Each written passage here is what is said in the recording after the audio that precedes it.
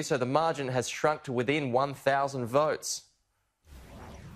Yeah, Pete, only 700 votes between Labor's Kristy McBain and the Liberals' Fiona Kotvojs, and a few thousand postal ballots still to count. But the opposition will narrowly hang on to the seat of Eden Monaro, a win made possible by preferences from the Shooters, Fishers and Farmers Party. We saw Kristy McBain claim victory yesterday afternoon, but it could still be several days before the Liberals concede defeat. Despite that, Labor leader Anthony Albanese has branded this an against the odds win for his party and denies his leadership would have been under threat if the result went the other way.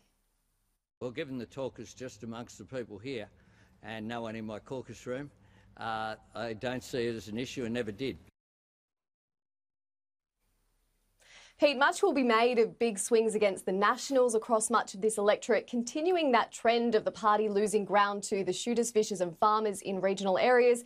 It didn't help the contest started with a chaotic entrance from John Barilaro before the party eventually settled on Trevor Hicks as their candidate. National Senator Matt Canavan last night telling Sky News that he wouldn't pin blame on anyone, but the number of disaffected Nationals voters is a problem the lesson for us here continues to be uh, we have to respond uh, uh, to some of our voters uh, who are who are who are going off in other directions, uh, who are who are having dalliances with other parties.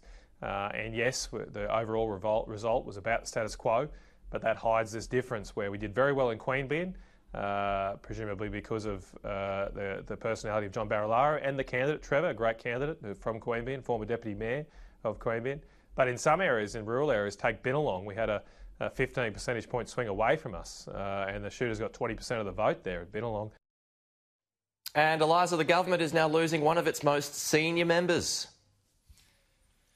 Pete, after months of speculation, Matthias Cormann has confirmed he will leave politics at the end of the year. The West Australian senator has been finance minister since 2013. He's worked under three Liberal prime ministers, but he will stay on to work on three major economic updates this year, including the October budget. Pete.